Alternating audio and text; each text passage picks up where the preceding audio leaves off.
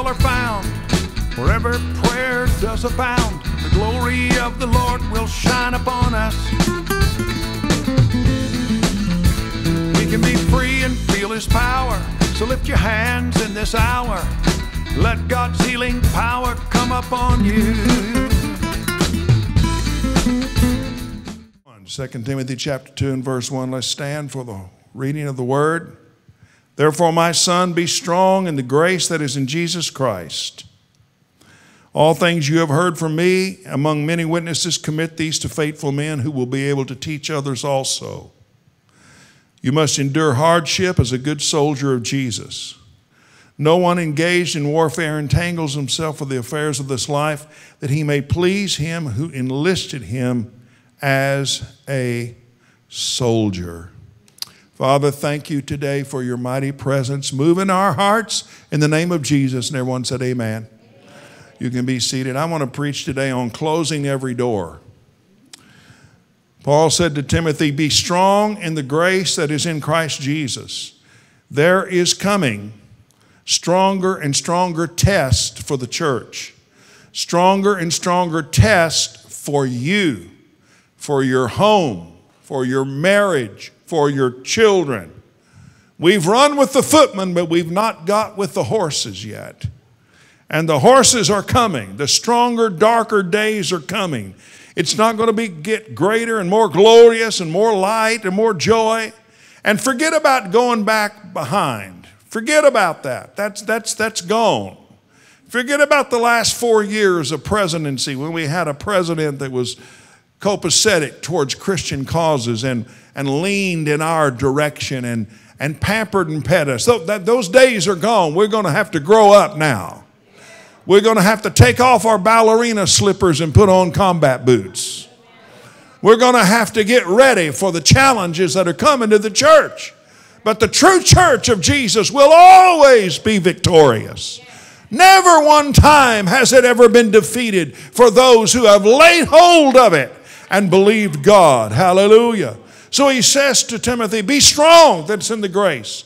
All the things that you've heard from me among many witnesses, commit these to faithful men who will be able to teach others also. Every sheep, every herd, of sheep follow their shepherd, and they hear the understanding he has of the Lord.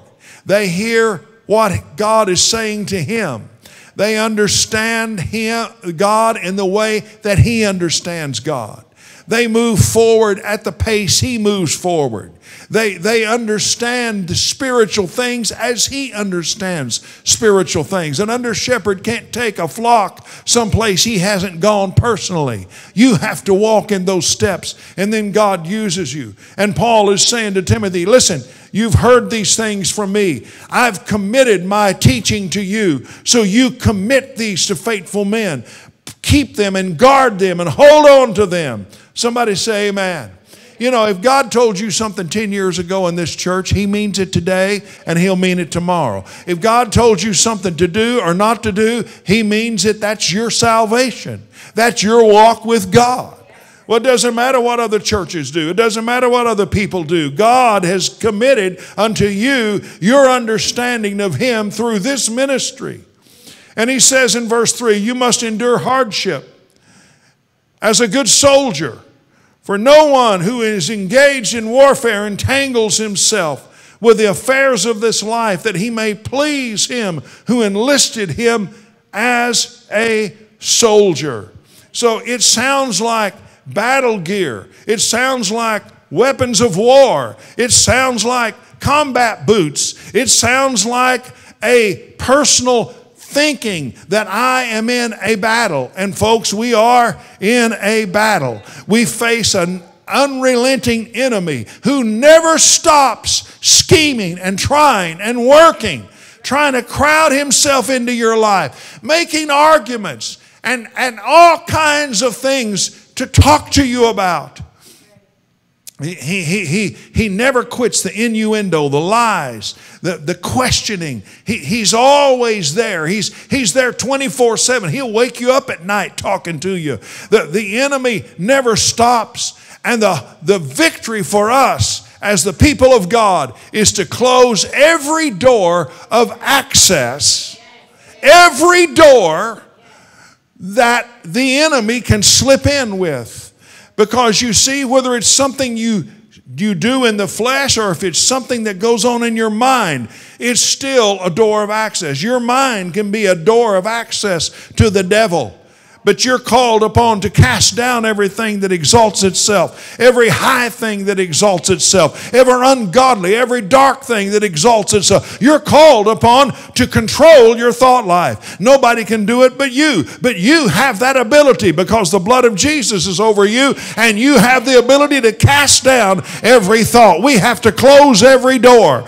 And whether it's something we think or something that we are tempted to do, we have to learn to close the door. I believe if we will close the door, we close the door of access. And the enemy's out here, not in here. The enemy's fighting here, not in here. The enemy's out here talking, but he's not hindering anything because the peace of God rules in my heart. But it's when we open the door and the devil gets access to the inside of us that the damage is done. That's where the destruction happens. That's what the devil wants is access. He wants access to your mind, your thought life. He wants access to your what you're doing, the things you are doing in your life. And so I want to preach to you regarding that today. I, I hope the Holy Ghost will make this so real in your life that you will do inventory and you'll look at yourself and say, Lord, is there any door of access in my life that the enemy's gaining entrance to because it's a spiritual thing? He's a spirit, he's unclean. And if you open the door, he brings in other spirits, other things, things that you used to not battle with. Suddenly now you're fighting over everything. Suddenly there's every argument against your walk with God. It's because you haven't closed the door. Hallelujah. Jesus said in the garden, Satan is coming, but he has nothing in me. Nothing in me. He's out there, he's not in here. So I'm going to challenge you today to, to close the door. Look at somebody and tell them, close the door now. Hallelujah. Proverbs 12 1 says, Whoever loves instruction loves knowledge. Do you love instruction? Do you love to be told? Do you love for someone to share with you where you're missing it? What needs to change? Do you love instruction? It says, Proverbs 12 1, He who loves instruction loves life or loves knowledge. He, who loves instruction loves knowledge, but he who hates correction is stupid. Get it get any clearer than that? He who hates instruction or correction is stupid. Come on. Do you love correction? Do you accept correction? You get a speeding ticket, you say, Officer, I just want to thank you for doing your job. You're protecting this country and protecting me from myself. And I'll gladly pay this $330 fine because I was in the wrong and you're protecting me.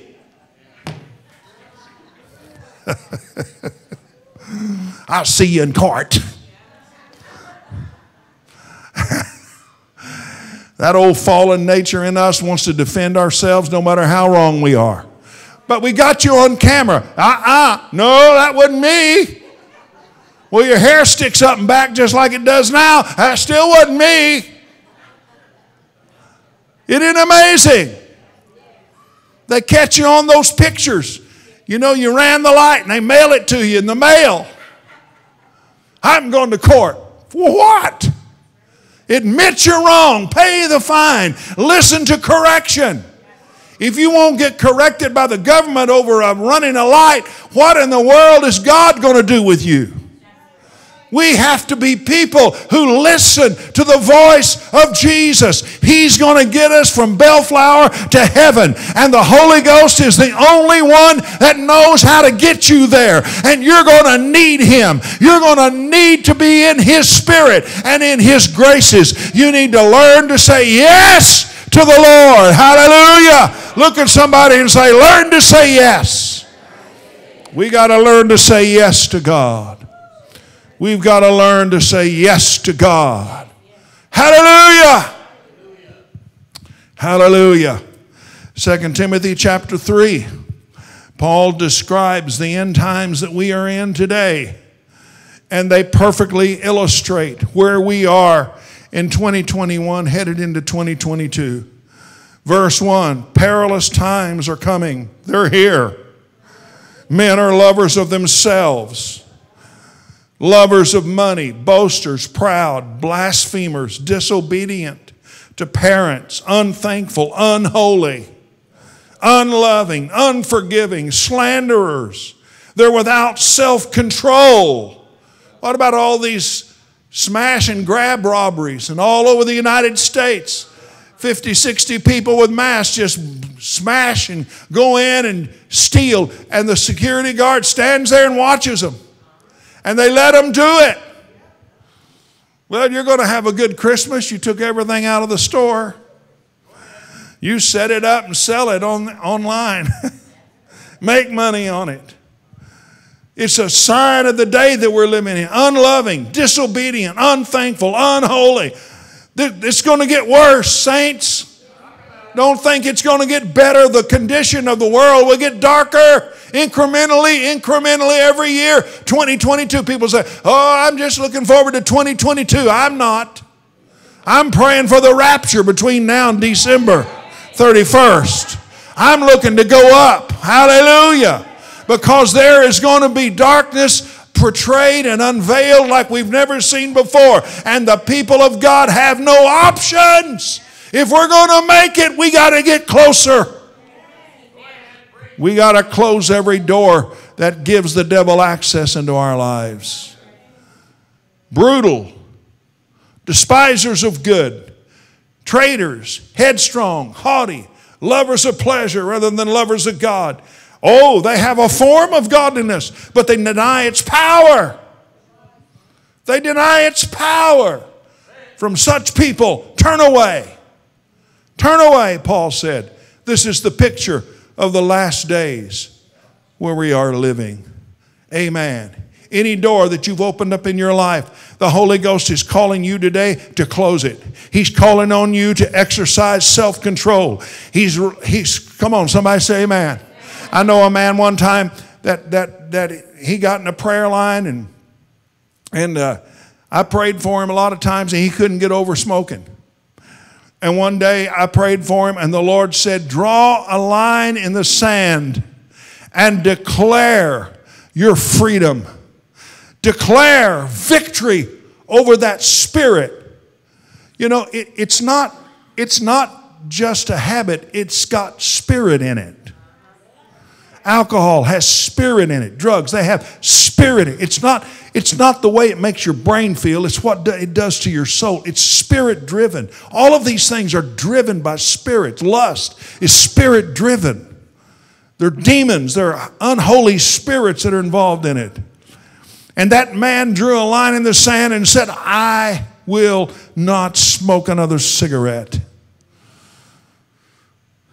And the next day he goes to work He's a two pack a day guy, and so they have their first break, and his friend goes, they go to the break room, and his friend pulls out his pack and says, Here, have one of mine. And he said, No thanks. He said, Why?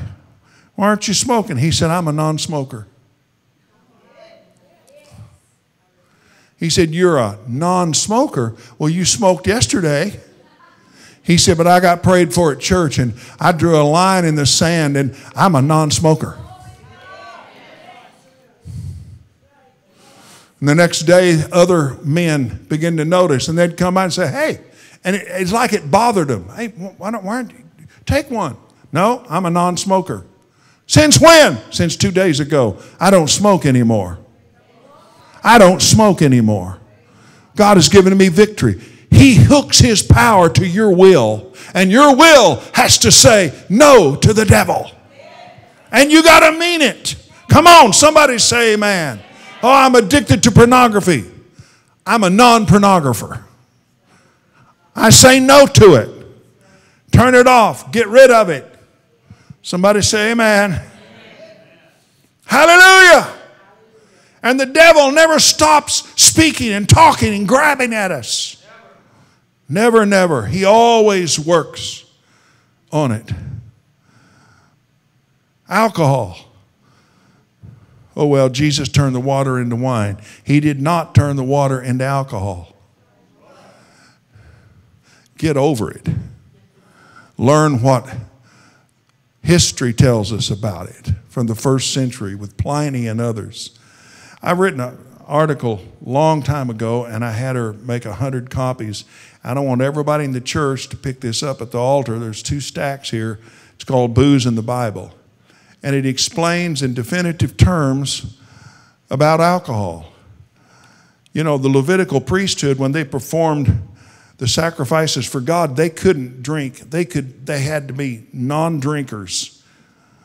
And it, it came after Phineas and Hophni, who were the two sons of Aaron, went in and offered strange fire, and God killed them and said, Don't bury them, take them outside the camp and throw them in a hole. And he told Aaron, Don't you even act like you're, you're, you're grieving over those boys He said, I'm mad. And the very next verse says, From that day, God designated no Levitical worker will drink alcohol. That makes me believe that both those boys were drunk and they got careless. And instead of offering fire on God's altar from the sacrifice, they went and got it from another campfire and offered it. And because it was strange, God killed them. And you're going to tell me that Jesus turned water into alcohol when the own Levitical priesthood were forbidden to drink? And when the Bible has so many references, nowhere in the Bible is strong drink ever condoned by God. Nowhere where anybody took strong drink does it ever give a positive view. 1 Corinthians 6 9 says, No drunk will inherit the kingdom of God. What about that? Well, you can drink till you're drunk. Well, you got, you got to stop one short or you lose your soul. Well, how do you know? State of California, are you drunk? State of Texas, are you drunk? God's standard, are you drunk? The answer is if you don't take the drink, you'll never get drunk. Stay away from it. Why? It opens a door of access to spirits that come in on, the, on that and they ensnare you and they bring you into bondage. I know what I'm talking about. I've lost two family members over this kind of thing. And I can tell you, there, the devil is not playing cards and games. He's out after you. And it's a it's a thing that opens a big door the Bible says, Proverbs 21, wine is mocker, strong drink is raging. Why would you want to participate? And the devil works on all of us. I remember after we took this church in 1983, the next year we got to go on vacation. And Brenda and I got so excited because we'd never been on vacation. I was 33, and we had been in evangelism and you know you're trying to keep from starving in evangelism so you preach if you get a chance and when i had a week off that was my vacation. But i didn't really ever have a really paid vacation the next year. They said no no you're, you're on salary now. So you can go. So i said to brenda let's go to mexico. She said okay. Where? I said i don't know. Pick out a place. Let's go. Mexican Riviera down there. So we flew down there and we stayed in this big five star hotel. And the first day, you know, I put on my swim trunks and I went out to the pool. Had this big, massive pool. It was like maybe half an acre big. And it, and it had, in the middle of it, it had a bar. And you could swim up to it. And the bar stools were underwater about a foot. And you could sit on the bar stool and your bottom's underwater and your arms are up on top of the thing. And you're sitting there kind of floating. I thought, this is cool. And the guy said, Can I help you? And I want you to know the devil hit me. The devil said, Yeah, try it out. A little frothy drink won't hurt anybody. You're on vacation. You deserve a drink today. I'd never touched alcohol in my whole life, but I can tell you, I sat there for 20 minutes and fought a battle that raged in my soul over whether to order one of those little with an umbrella. I was going to get one with the cherry on top and, a, and all the stuff that goes with it and put the alcohol in there, and I was going to do it. And I tell you, I was going back and forth and going back and forth. And, and, and I said, Well, I, I, let me swim. So I got away and I swam for a while. The devil said, He's still over there. He's still there. So I swam over there again and I sat down underwater. And the guy said, Did you decide what you want? I said, I'll take a Diet Coke. He said, Oh. You don't want any good, a little yummy drink, little yummy drink. Ooh, it's yummy. Gin is rum is yummy. Vodka is yummy. If you put enough sugar on top of it, cuts the bite down. And I got a Diet Coke. And I told my wife the next day, I said, Man, I fought the devil in the pool. I did. I had to fight. I had to resist. I had to cast down. I had to take authority. You're in Mexico, nobody will see it. These people can't even speak English. You, are safe. Nobody knows you. You're 800 miles away. Devil is such a liar. My grandpa Chambers was an alcoholic, and he used to lecture all five of his children don't ever touch alcohol. It's in our family. That spirit works in our family, and that spirit's looking for access. He's looking for access. And I had family members that for years didn't drink, but they caved in because of pressure, because of big preachers who have big ministries and they socialize with alcohol. And they got involved and it took them down. It was a door of access for a demon, and it brought in all kinds of pain. Hello? Hello? And it's so accepted today in the world. I was at a wedding not long ago, and the pastor got up there and said, uh, I'm going to pray over the food, and you know, whatever you want to drink, you know, it's, it's good. There's a bar over here, and you know, Jesus didn't turn the water into Kool Aid.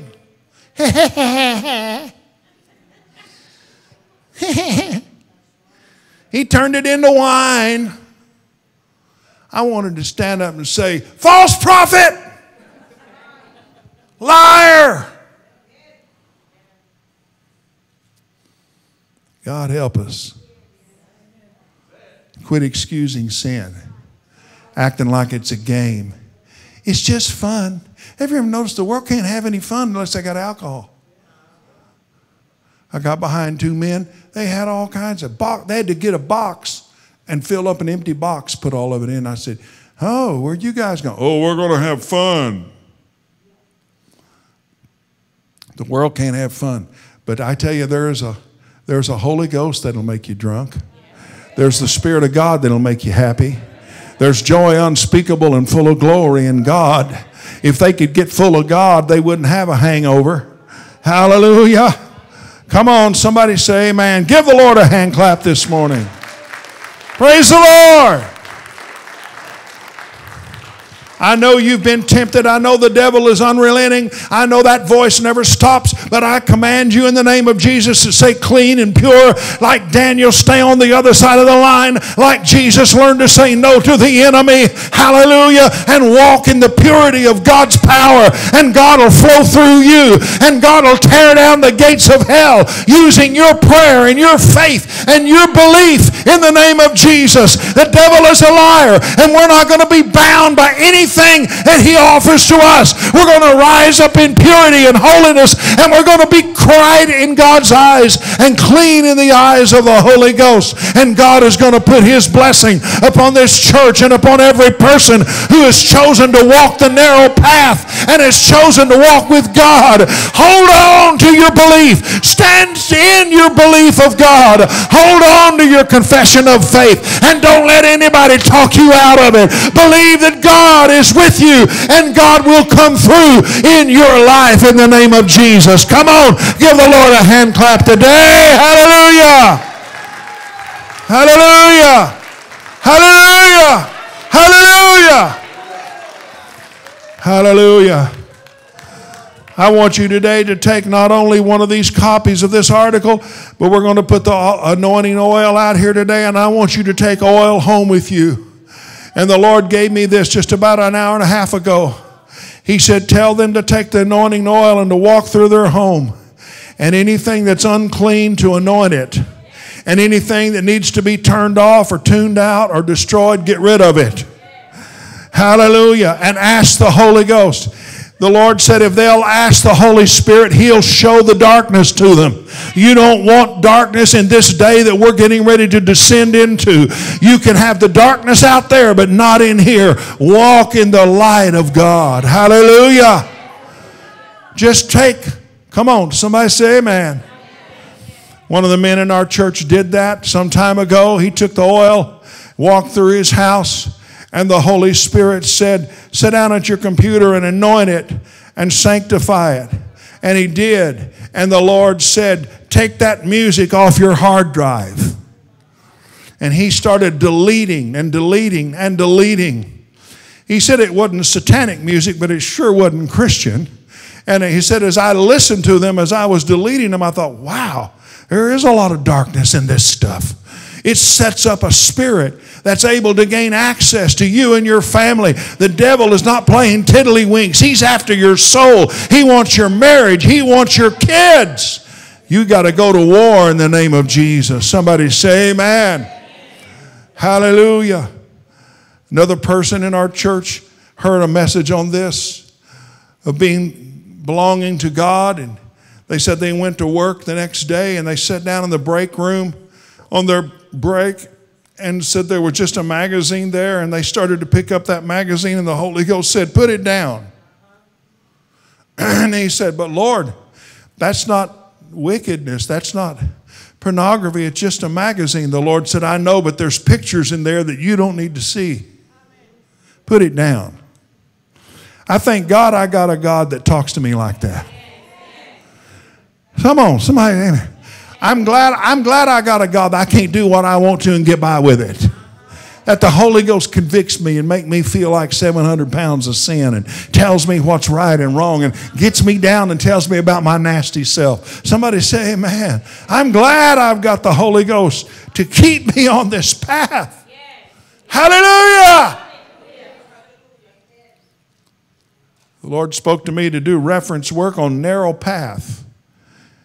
And I looked up where Jesus said, Matthew, the road is narrow, it leads to heaven, and few there ever be that find it. Few there ever be that find it. Aren't you glad you're one of them? Come on, hold your hand up and put a big smile on your face. I'm glad, Lord, I'm one of them. I found this path and I'm on this path. But it's narrow. It's narrow. There's a lot of yeses and nos in it. a lot of do's and don'ts. Come on, say amen. I found the Holy Ghost got an opinion about everything. He's nosy. He's not just nosy. What it is, it's motivated by jealousy. He's jealous over you with a godly love. He wants everything good for your life. Everything good for your life. Amen. You know, we were went through Thanksgiving. Next day, I went into a convenience store and and I had this hankering for something sweet because I had eaten sweets the night before, which I don't usually do. And so it had set up this craving. And I walked past this glass case, and there was a, a bakery that had deposited some things there. And I stopped and looked at them for a while, and, and I was there was a one side saying, "Oh, get those, all three of them." And another voice said, No, you had your day of sugar. You need to stop. And I knew that was the Holy Ghost over here. You had your sugar. Now you just get back onto the discipline I put you on because He's got me, you know, on a diet. And I thought, yeah, but if, if we had cooked all this food, we'd have it at home and we would eat off of it two or three days, and that chocolate pie would take a week to eat. The Lord said, But you didn't cook. You went to a restaurant and it's all gone, so get over it. Now, I don't know why. Am I the only one that has conversations? The Lord just cuts me no slack. So I'm sad to say that I disobeyed and I bought all three pastries. Oh, Lewis is back there going, yeah, I disobeyed and I brought them home. My wife said, Oh my goodness, more sweets? I said, Well, you know, I just got, I just kind of let go yesterday and I just feel that desire. She said, Well, open up. Let me look at them. So she looked at them. She said, They're not for me. That made me feel worse. Self control, when you don't have it, is, is not desirable around you, right?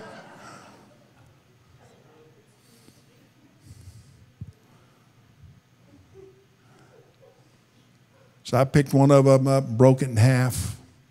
I was going to eat the jellied part in the middle, you know, just, just, just that part. And I took one bite and it was dry and didn't even taste good. I went, I heard the Holy Ghost say, Did, Didn't I say back there not to get this? And you just disobeyed me? And you did it anyway, and you had to put it in your mouth? I knew that was dry. Do you believe the Holy Ghost knows all things? He knew it wasn't any good. So I wasted $4. Threw it in the trash. Learn your lesson. Be submissive quick obedience. Learn to flow with God. Learn that everything He's got for you is good for you. He wants to bless you. He wants to anoint you. He wants to make the crooked path straight. He wants you to do everything that He asks you to do. If you will do that, you will have an open door to heaven and a closed door to hell. Let's stand together. Praise the Lord.